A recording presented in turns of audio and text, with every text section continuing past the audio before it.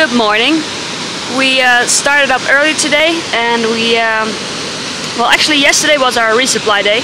So we unfortunately slept in a little bit because we were in a tree so we basically, we usually wake at dawn but because we were in a tree so much we couldn't really see.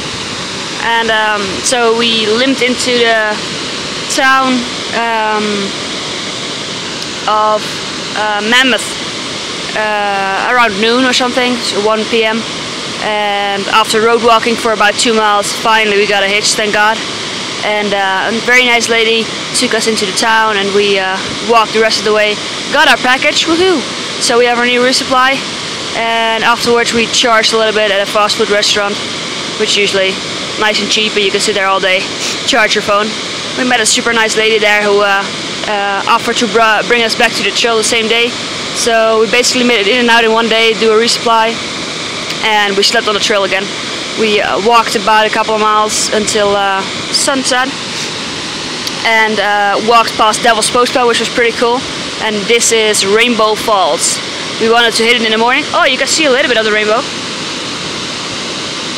Very little bit.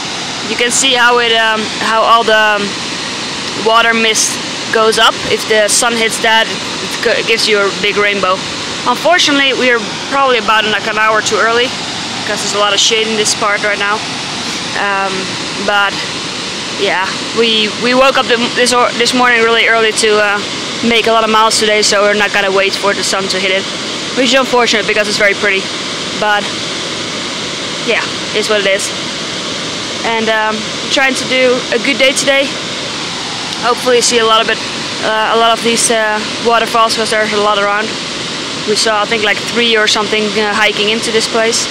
And I think we have a big climb coming too, so let's see how that goes. It's pretty though, very pretty. I'm glad we did this trail. It's a little bit off the side, but uh, disconnects to the JMT and the PCT uh, straight away, so we're not missing anything.